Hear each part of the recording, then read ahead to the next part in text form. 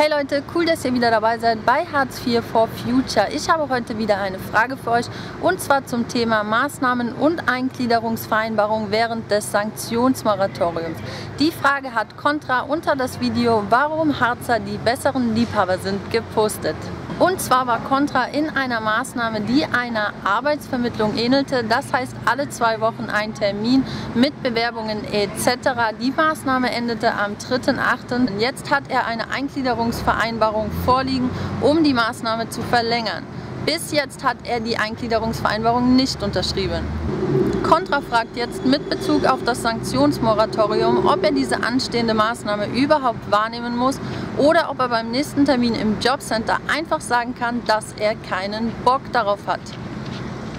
Ich würde jetzt sagen, dass Contra recht hat, dass er die Maßnahme nicht annehmen muss und dass er beim nächsten Treffen im Jobcenter einfach sagen kann, er hat keinen Bock. Ich würde Contra außerdem empfehlen, die Eingliederungsvereinbarung gemäß Golden Rule Hartz IV Nummer 1 nicht zu unterschreiben.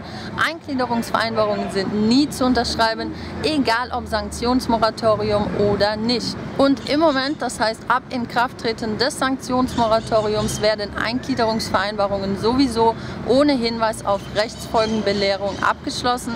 Das heißt, die haben im Moment keine rechtliche Verbindlichkeit, aber es ist jetzt schon mal gut zu üben, Nein zu sagen.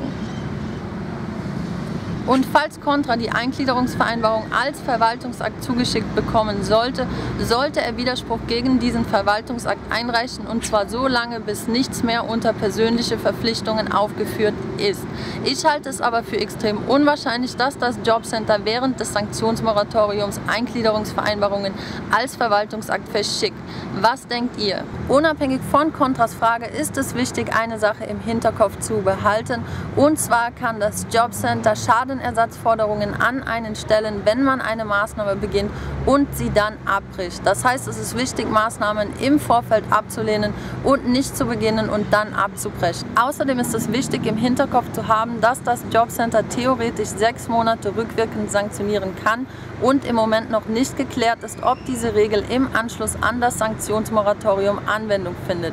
Das heißt, ab dem 01.01.2023 heißt es wieder aufpassen. Aber jetzt noch einmal zurück zu Kontras Frage. Denkt ihr auch, dass er keine Probleme bekommt, wenn ihr die Eingliederungsvereinbarung einfach nicht unterschreibt und beim nächsten Treffen beim Jobcenter sagt, dass er keinen Bock auf die Maßnahme hat? Vielen Dank im Voraus für eure Hilfe. Vielen Dank fürs Zuschauen. Passt gut auf euch auf. Bis bald und tschüss.